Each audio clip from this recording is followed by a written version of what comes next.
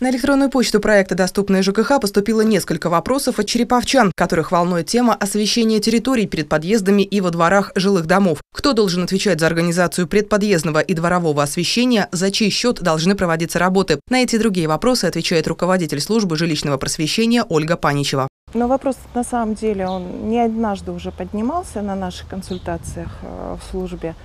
Ситуация следующая. В подъезде и перед подъездом, перед входом в подъезд, по умолчанию освещение должно быть.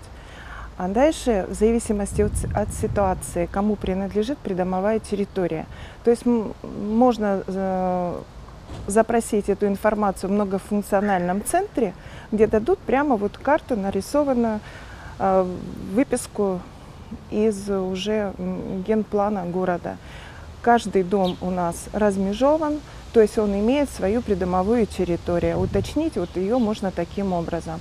Ну и здесь, если это является территория общей собственностью всех собственников, проживающих в этом доме, то тогда управляющая организация по заданию собственников и приводит освещение в порядок. То есть это входит в содержание текущий ремонт плату входит и содержание осветительных приборов.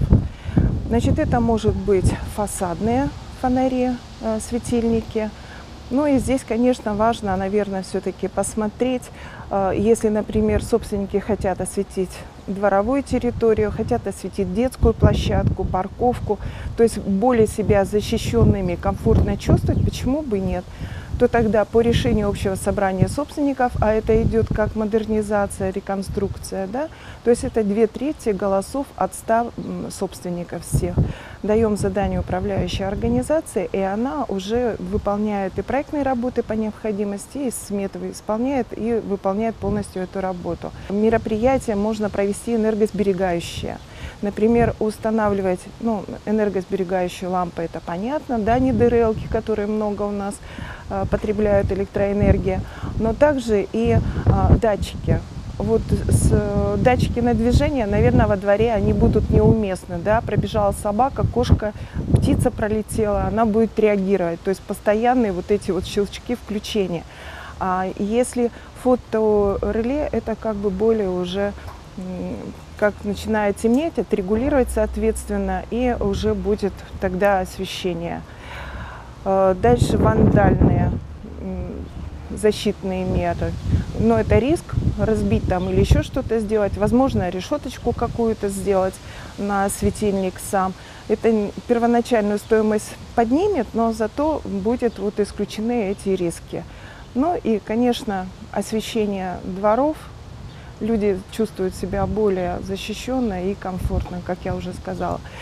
Что касается, если вы получили этот план и увидели, что это не, не ваша территория, там темно, то тогда эта территория является городской собственностью муниципальной. Обращаемся в мэрию города для проведения таких мероприятий. И тогда средства действительно будут задействованы бюджетные, а не средства собственников.